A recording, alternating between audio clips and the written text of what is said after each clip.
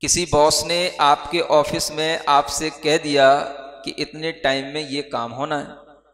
अब आपके लिए टेंशन शुरू। बस, टेंशन यही है, और कुछ नहीं है। जितने भी जॉब में रहने वाले हैं, उन सबको टेंशन क्यों होती है? टाइम मैनेज करना।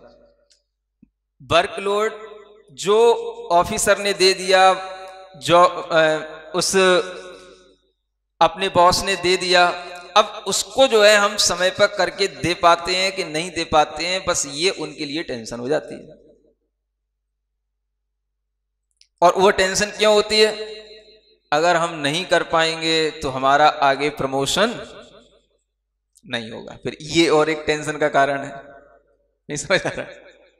तो उस टेंशन से वो एक टेंशन जुड़ गई।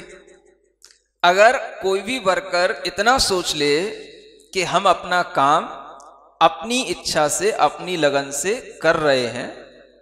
और जितना हम समय देंगे, उतना हम समय ईमानदारी के साथ दे करके इस काम को करेंगे। समय पर जितना हो जाएगा हो जाएगा। अगर बॉस ने ज़्यादा भी दे दिया है तो हम उससे कह सकते हैं कि ये काम जो है, थोड़ा हमारे लिए ओवरलोड था। अगर वो समझदार हो तो मानेगा, नहीं समझदार हो तो फिर क्या समझ आ रहा है? आपको ही मानना पड़ेगा। अब आपको यह सोचना है कि आपके लिए काम महत्वपूर्ण है, आगे का प्रमोशन महत्वपूर्ण है कि अपने दिमाग का बैलेंस रहना महत्वपूर्ण है। नहीं समझ आ रहा है? अगर बॉस ही सब कुछ है, काम को समय पर देना और प्रमोशन होना ही सब कुछ है, और आपके टेंशन के कारण से आप जो है परेशान होकर के आप खुद रुग्ण हो रहे हो या डिप्रेशन में जाने वाले हो तो फिर आपका वह प्रमोशन भी किसका होगा फिर? प्रमोशन किसका होगा? पर्याय का कि द्रव्य का ये भी एक सोचने की बात है। नहीं समझ आ रहा है। प्रमोशन किसका होगा? प्रमोशन तो पर्याय का ही हो रहा है ना। अगर हम द्रव्य को देखेंगे कि भाई, आखिर हमें पहले अपने द्रव्य को संभाल के रखना है, पर्याय तो जैसी आएगी, हो जाएगा कभी काम ज़्यादा, कभी काम कम, कभी किसी के मन का हो गया, कभी नहीं हुआ एक मन का कर देंगे, दूसरी बार फिर वो दो फिर फिर कह देगा, भाई, अब तो तुम बड़े मास्टर हो गए तुम तो कर ही लेते हो, अब दोबारा फिर करो इसको। समझ आ रहा है? तो यही टेंशन है। आजकल की जॉब में बच्चे बच्चियों को यही टेंशन है।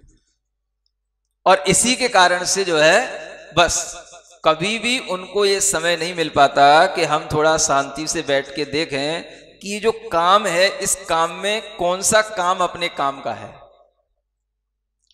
काम कुछ भी काम का नहीं है। सिर्फ़ जो फ़ाइल है, पूरी करके देना है, उसमें काम की कोई चीज़ नहीं है। लेकिन पैसा उसी के ऊपर मिलेगा। समझ आ रहा है ना? तो उसमें हम ये सोचें कि ये कौन से द्रव्य का क्या परिणमन चल रहा है। हम अपने जीव द्रव्य के परिणमन को बिगाड़ करके और हम किसी का कुछ काम कर भी रहे हैं तो इससे हमारा क्या भला हो रहा है? इतना अगर विचार आ जाए तो वहीं पर आपका सम्यक ज्ञान, आपके टेंशन को, आपके स्ट्रेस को सब कुछ डाउनवर्ड ले जाएगा।